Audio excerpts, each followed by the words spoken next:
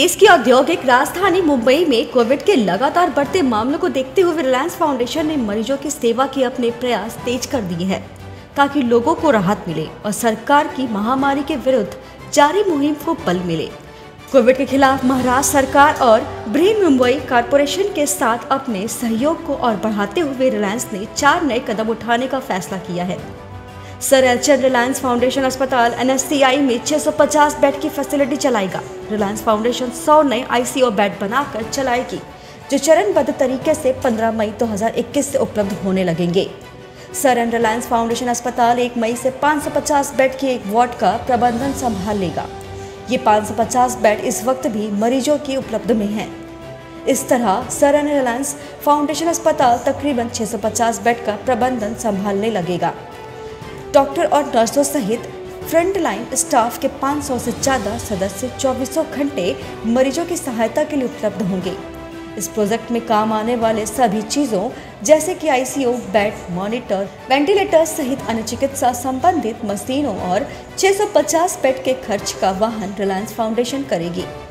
जी हाँ, आपको बता दें एनएससीआई और सेवन हिल्स अस्पताल के सभी कोरोना पीड़ित मरीज़ का इलाज निःशुल्क होगा। पिछले साल मुंबई में रिलायंस फाउंडेशन और ग्रीन मुंबई कॉरपोरेशन ने मिलकर देश का पहला कोविड अस्पताल बनाया था। सेवन हेल्थ अस्पताल इसमें 225 बेड थे, जिनमें से 25 आईसीयू बेड सहित 100 बेड का प्रबंधन Sir H and Reliance Foundation कर रहा है। सेवन हिल्स अस्पताल में अब 25 आईसीयू बेड बढ़ाए जा रहे हैं। इस तरह रिलायंस फाउंडेशन के प्रबंधन में 125 बेड हो जाएँगे, जिनमें से 45 आईसीयू बेड होंगे। आपको बता दें रिलायंस फाउंडेशन ने कोविड के मरीजों के इलाज के लिए जो नए कदम उठाए हैं, उनके बारे में संगठन की चेयरपर्सन नीता अंबानी ने कहा, देश की सेवा के लिए रिलायंस फाउंडेशन सदैव तत्पर रहता है। कोविड की महामारी का मुकाबला करने के लिए भारतवर्ष को और मज़बूत करना हम सबका कर्तव्य है। बेहतरीन चिकित्सा सेवा प्रदान करते हुए हमारे डॉक्टर्स और फ्रंटलाइन स्टाफ ने अथक प्रयासों के ज़रिए कई मरीजों की जान बचाने में मदद की है।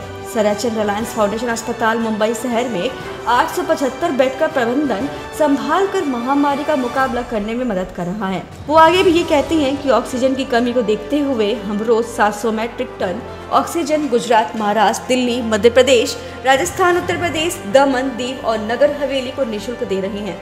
साथ ही हम और मदद बढ़ाने के प्रयास भी कर रहे हैं। मुंबई और देश के लिए हर संभव मदद करने को लेकर हम कटिबद्ध हैं। मिलकर ही हम इस महामारी का मुकाबला कर सकते हैं। कोरोना हारेगा, इंडिया जीतेगा। पिछले साल रिलायंस फाउंडेशन ने अन्न सेवा के तहत पाँच दशमलव पाँच करोड़ लोगों को भोजन कराया था। ये दुनिया में अपने जैसा सबसे बड़ा कार्यक्रम था। कोविड का मुकाबला करने के लिए रिलायंस फाउंडेशन ने कुछ और कदम भी उठाए हैं, जैसे मुंबई के देवनार में Spandan holistic, mother and child care अस्पताल में कोविड केयर फैसिलिटी बनाई।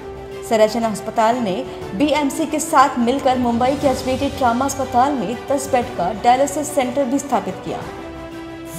Bureau report IPN